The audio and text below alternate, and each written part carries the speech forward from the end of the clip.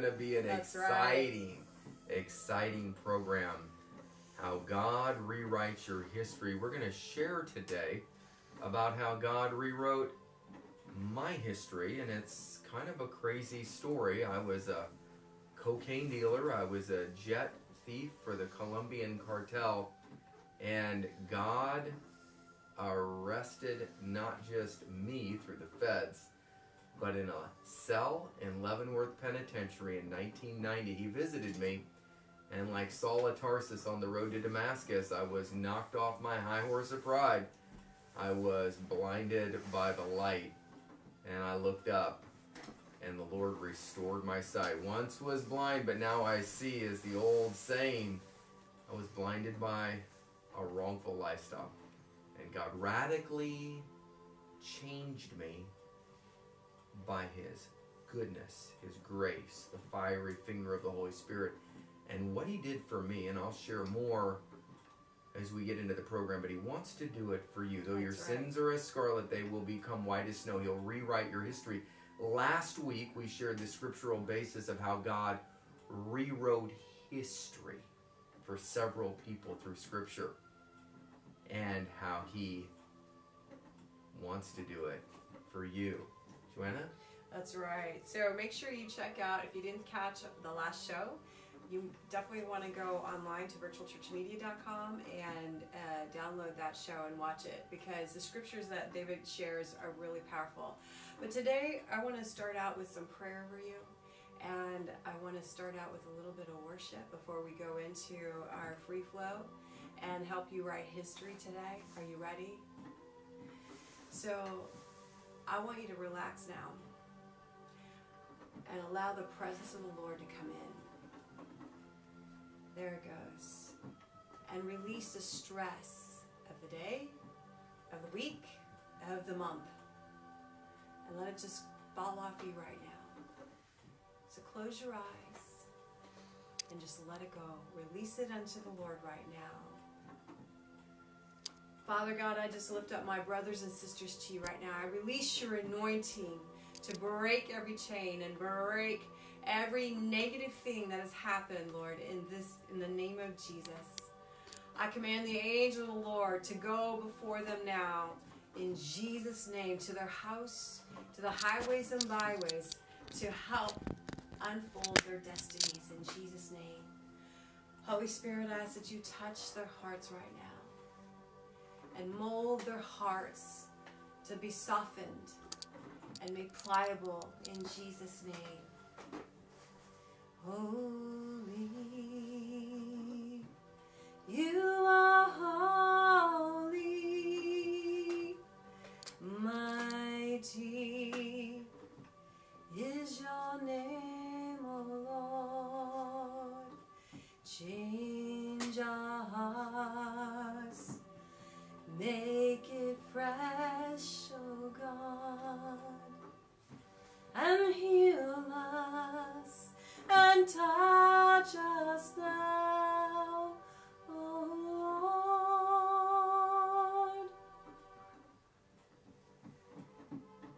Thank you, Jesus. Thank you for releasing your fire right now. In Jesus' name, your glory to touch them and heal their heart. In Jesus' name. Amen. Thank you, Joanna. Well, the presence of God is here, and in His presence, all things are possible. Uh, before we get further in, I see the Lord is wanting to do some dental miracles right now, Mhm. and uh, He wants to heal your teeth. Um, there's somebody with uh, a problem in the jaw on this side. And if you just receive, just say, I receive right now. There's the fires going right through your jaw. You're feeling it heat up. And God is moving in that area. Others have just just let him let him do it. If you can perceive Jesus as your savior, you can receive him as your savior. If you can perceive him as your healer, healer, you can receive him as your healer. If you can perceive him as your dentist, you can receive him as your dentist. We've seen many, many dental miracles Mm-hmm. of all kinds. I have dental miracle in my mouth that occurred on a Easter weekend several years ago.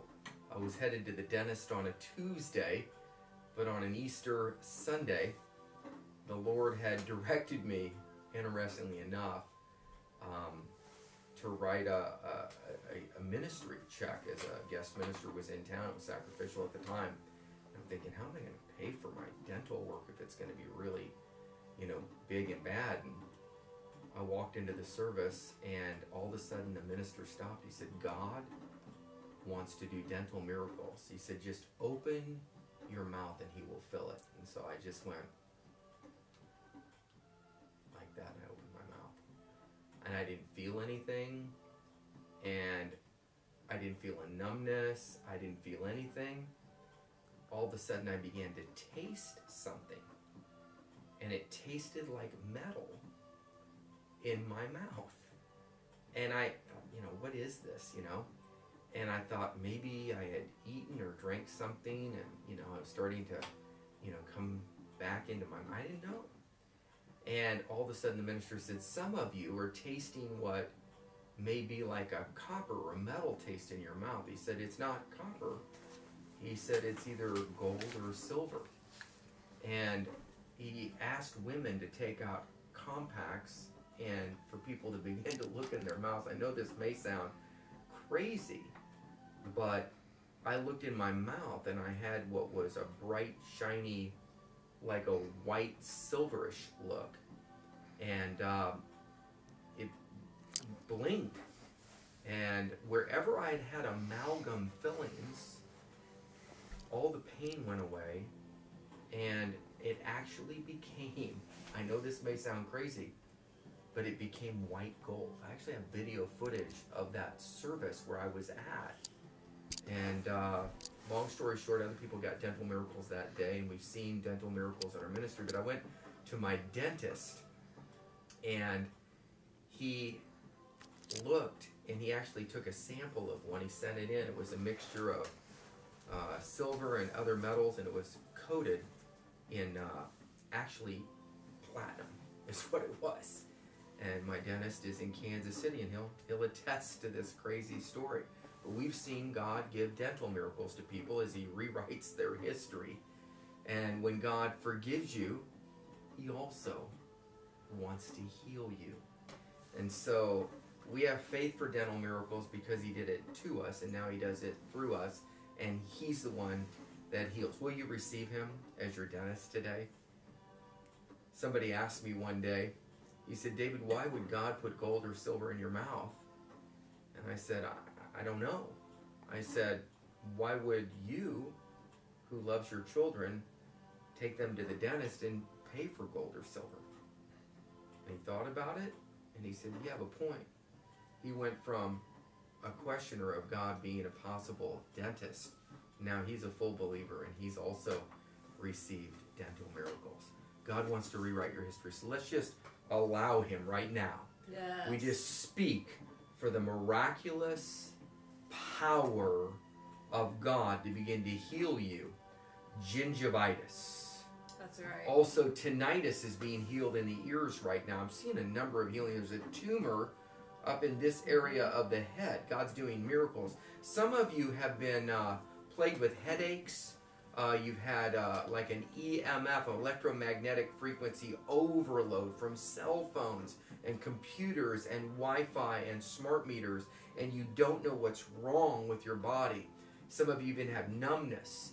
God's supernaturally resetting your system right now.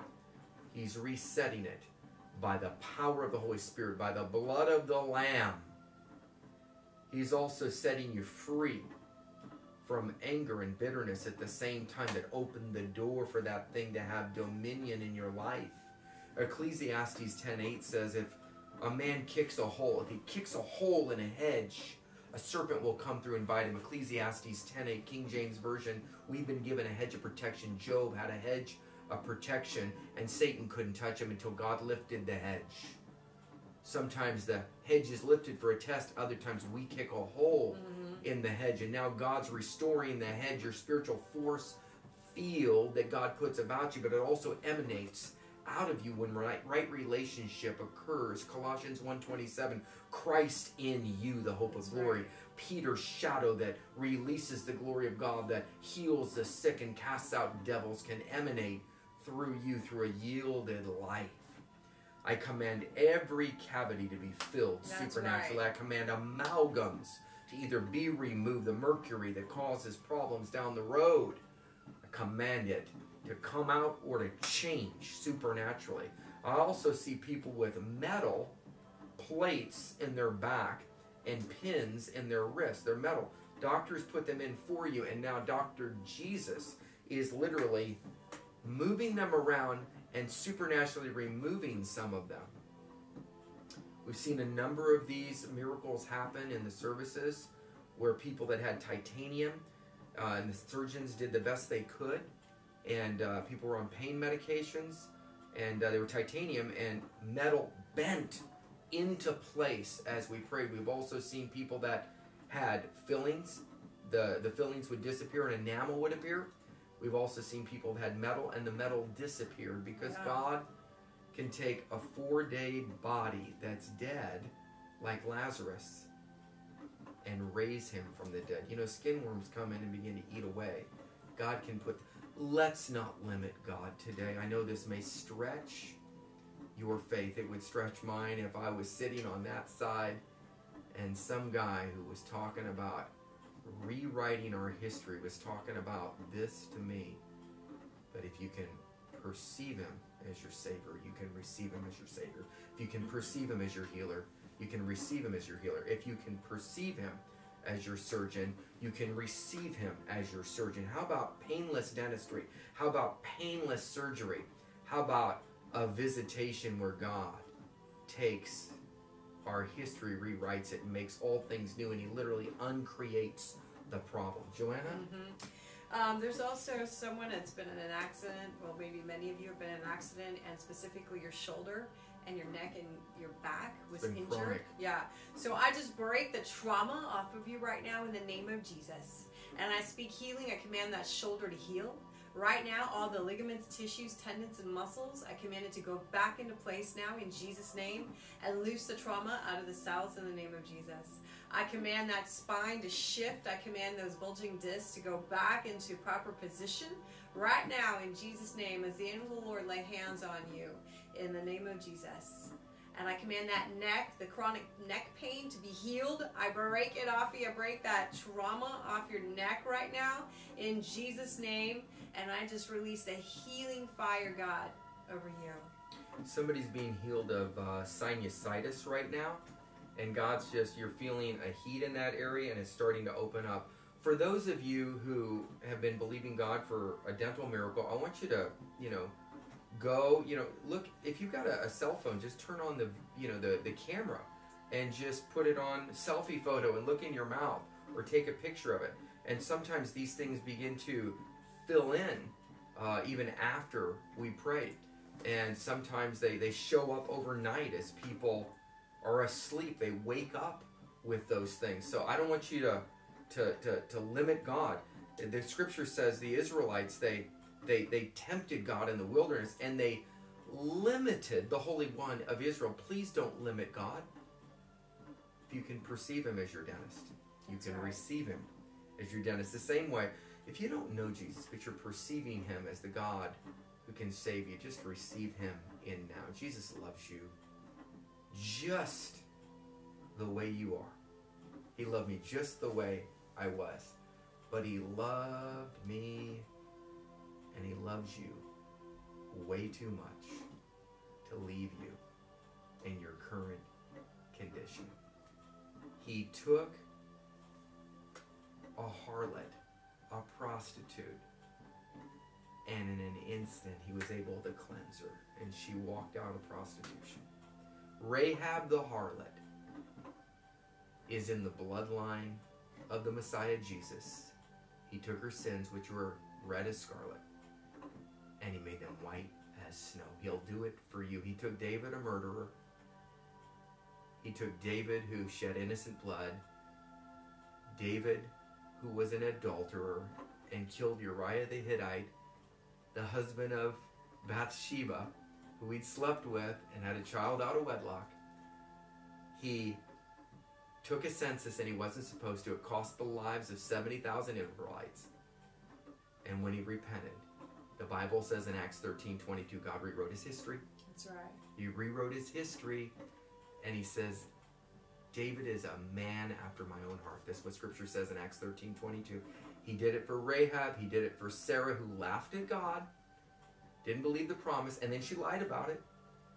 And scripture says in Hebrews 11 that she conceived because she counted God who was faithful, that he was able to keep his promise, because she repented, she turned. It's not what you do, it's what you do today that makes the difference. Right. And God rewrites your history.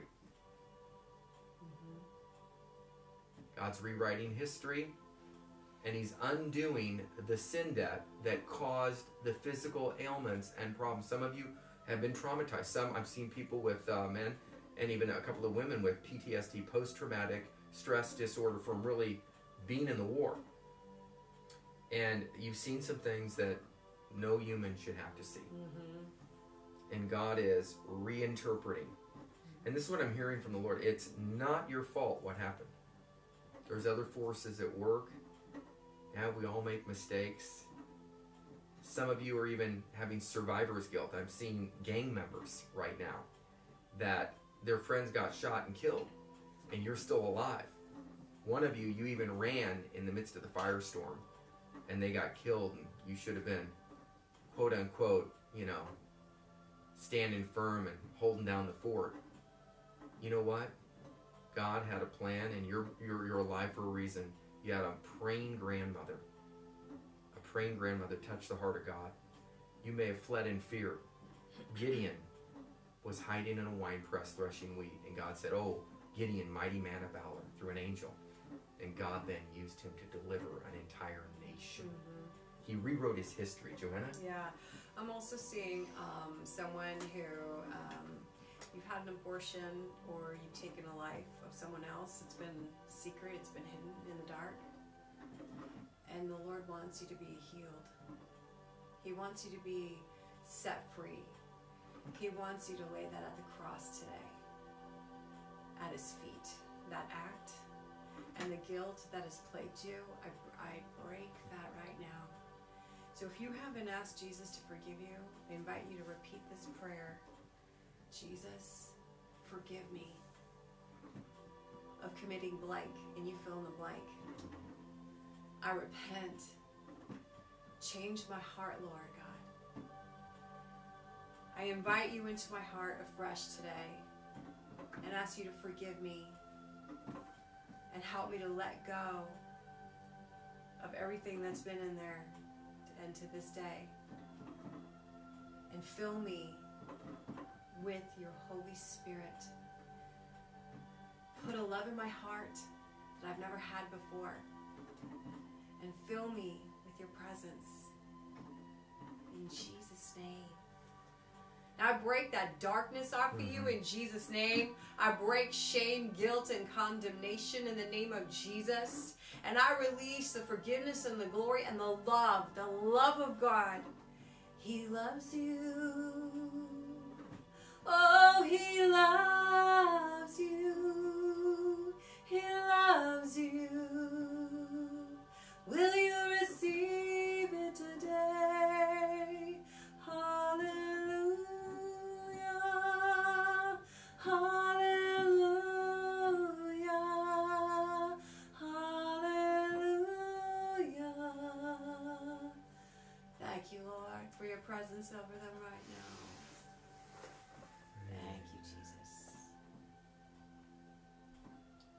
there's a, a word of knowledge I'm getting in the, in the knee. It's like my, my knee is like on fire right now. And God is healing knees now. I believe He's healing a variety of conditions in the knee. But this is almost like a knee replacement that wasn't done correctly. And God is going in there right now and He's literally fixing everything in your knee right now. And if you begin to move the knee around, you're going to find that the clicking's gone, the stiffness is gone, and if you get up and begin to, you know, do squat down on it, do whatever you couldn't do before. And I, I just want to say this: if there's anything after we prayed for healing, and God's released that or called out a word of knowledge, if you'll begin to go do something that you weren't able to do before, you'll find out that you're healed as you're going to do it. And it becomes, and some of you just got complete miracles. I just saw that as you began to start to do that. And there's some people weeping right now. Please, please, you know, email us at info at virtualchurchmedia.com. We love to hear God's testimonies of how He rewrote history with people and He gave people new futures. And so I believe a variety of knee conditions. And, and I also heard that God is cleansing kidneys right now. And He's just turning things back on. And you're going to find that everything begins to start to function as it was designed in Adam before the fall and Christ after the resurrection. Joanna, I think you're getting something as well. Yeah, he's rewriting your history right now. He's rewriting the history of your heart. He's rewriting the history of your DNA in your body. He's rewriting the history of your emotions. Mm. And so I'm getting a specific word for the skeptic. Mm. You've been a skeptic. You actually maybe don't really believe God is real. And you know what? So I challenge you today. And I challenge you if you're really seeking, if you really want an answer, I challenge you to ask God. Double dog dare you. Double dog dare you, Jesus, to show yourself to me. Not only ask that if you really want to know, but I also want to, those of you who are also skeptical in healing, I want to share my personal quick story. I was pretty skeptical about healings. I thought, you know, what I saw on TV was, was fake until God touched me at a meeting in Europe, in Finland actually. And it was this amazing pastor who travels to Russia and uh, phenomenal evangelist, right? All kinds of crazy things happen to this guy. So he prayed for me because uh, I had back pain. And uh, he asked me to um, stand in front of him. You know, this was a group of front of a group of 30 people. And so I stood. He said, "Well, you know, you have one leg shorter than the other." I said, "Yeah, I know. I've had that for a long time." He says, "Well, no wonder you got back pain." And uh, he says, "Go ahead and sit down and put your legs out in front of you on the stool." So I did, and uh, all he did was he put his hand on my knee, and he said, "Lord, touch her." And all of a sudden, my skeptical little self got corrected with my leg growing out, and I literally felt my hips shift. It was crazy. It was like I was a, this, you know, this science spy movie, and I was the one that was, you know, the science spy uh, character. But God grew out my leg. So I'm going to pray for you right now, And all the pain left. and all the pain left, yeah. And, and you never had to, no, No. more chiropractor, you No. know. I didn't have any more back pain. I had a lot of back pain at that time. And so God healed me of that. He also healed me of migraines. So I pray for you. If you're that skeptic today and you've got one leg short of the other, or you've got migraines, I pray for you. Or sleepless nights. Sleepless I nights, really we rebuke that off of you now in Jesus' name. We release healing. Touch them, Lord. Touch them right now with your love. In Mm. Jesus' name. God is so good. He's also healing people of uh, insomnia right now. I, we didn't plan on a healing program, did we? No. We were going to talk about how God rewrote history and, you know, uh, He's so gracious, but He loves you so much. So, insomnia, we command that to go. We I declare, rebuke that spirit. yeah, it's a spirit of torment Yeah. in the middle of the night that comes on you. I break the power of that thing in the name of Jesus, and by the power of the Holy Spirit, we release the angel of the Lord to rest upon you and to bring you by the Prince of Peace, the peace of God that bypasses all understanding. You know, the world, uh, they determine peace as a lack of war, uh, peace as a lack of noise, peace is this and that, but you can be completely tormented without any of those things in in the kingdom of God as a son or a daughter of God, it's not the absence of those things that brings peace. It's the presence of God that brings peace in the midst of the storm. I release the presence of God by the power of the Holy Spirit that would bring the Prince of Peace into your situation. Lest the Lord watch the city, the watchman watch it in vain. Psalms 127 2. The Lord giveth his beloved sleep. I release the rest and the sleep of God. I don't want to name certain pharmaceuticals, you know, over a TV broadcast, but there's some sleep medications, and I'm actually seeing the names. The Lord's breaking the power of them right now. Right now, right now. He's also cleansing your liver supernaturally of the damage that's been done through pharmaceuticals that, that God really wanted to touch and heal you. That season is now past. You you know, consult a physician. I'm not telling you what to do with your medications. I'm just sharing with you what the Lord's showing me He wants to do. If you'll step into the river, God will heal you mm-hmm. supernaturally in the mighty name of Jesus. Yes, Lord. And you know, I go ahead, Joanna. And we just released the angel of peace. The angel of the Lord and let's lay hands on you. I declare Psalm 91 that you will rest in the shadow of the Almighty, in the shadow of His wings. You will find rest and peace. Shalom. His shalom is falling over you as we go to close this program. We release the shalom of God in Jesus' name. I also declare and I decree every spirit that would try to stir up controversy over what's been shared today, every spirit that would be dissenting against the will and purpose of God in Scripture, of the God who changes not. That thing would be broken over your life, and that you would then go to Jesus seek the, the Lord on your face and to seek the Word to see if these things are so. You break that spirit of controversy, and we establish the Word of the living God in your household. In the mighty name of Jesus Christ of Nazareth, the Son of the living God. We bless you today. I'm David. I'm Joanna. We are the Herodians, and this is Virtual Church Media. Download our mobile app, watch us on the fly, and encounter Jesus in his presence. That's right. Where all things are possible. For those who believe. God bless you. God bless we'll see you next week.